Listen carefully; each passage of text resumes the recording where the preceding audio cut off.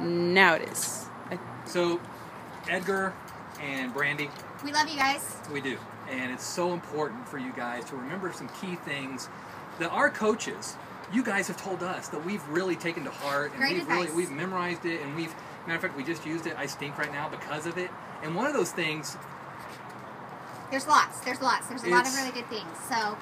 Wait, um, yeah, you go there's- ahead. Okay, the first one is it's um, has something to do with um, it, it's really important. It's important tie your one. shoes. You're supposed to Yeah, I don't think they told us that. I don't think they did. But there's the one about when you you move, you're supposed to do. I can't remember if it's opposite or if it's In the middle of your arm. run you stretch.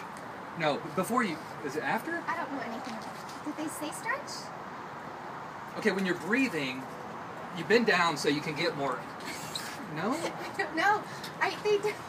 You're supposed to breathe. Are you supposed to you're, you're supposed to eat a banana on Thursday. No, no, no. I know you're supposed to start off as fast as you can. Yes. You start off You beat fast. everybody else. So start off fast, go as fast as you can, and like get really tired at first. That way, when you trip, you you make the people behind you trip over you, Yeah.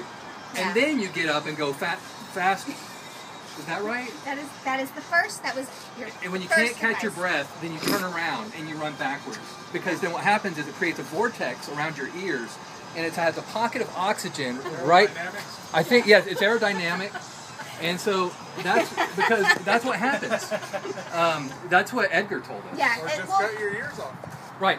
Yes. Take yourself. So yeah. at mile 50, you lacerate your ears, and then the blood serves as an energy source. Have you seen Have you seen Life? Blinding What? for the rest of the people. Yes.